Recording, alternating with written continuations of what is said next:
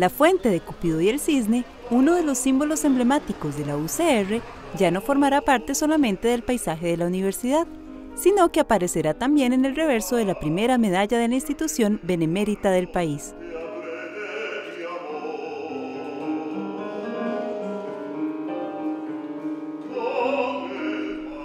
El pasado 9 de diciembre se realizó la presentación oficial de este símbolo conmemorativo, como parte de las actividades para celebrar el 75 aniversario. Bueno, ciertamente la primera, la Universidad de Costa Rica nunca ha acuñado una, una medalla conmemorativa como lo hemos hecho en esta oportunidad y lo hemos eh, realizado de esta manera para crear un hito histórico. Eh, los 75 años en la vida de una institución eh, creo que son representativos y emblemáticos. La medalla fue acuñada en la Casa de la Moneda de México, en plata de 999 sobre 1000. Se realizó un tiraje de 520 piezas, cada una de ellas pesa 31 gramos y tiene un espesor de 3 milímetros. Además de la fuente, el diseño posee el escudo heráldico de la UCR, con su característico girasol y sus ramas de olivo. El diseño estuvo a cargo del profesor de la Escuela de Artes Plásticas José María Castro Madrid.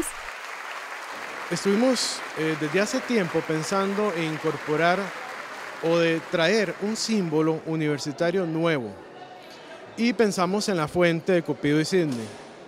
En ese momento, eh, como don José Vargas y yo estamos dedicados a la numismática y a la colección, pensamos que quedaba ideal crear un reverso con la fuente Cupido y Sidney. Simbólicamente, la medalla fue entregada al rector Henning Jensen, distintos exrectores de la UCR y directores de las diferentes instancias de la universidad. En la ceremonia también participaron estudiantes de otros recintos de la UCR, que fueron seleccionados por su alto rendimiento académico, como Marisol Cerdas, una estudiante de licenciatura en la carrera de aprendizaje diverso.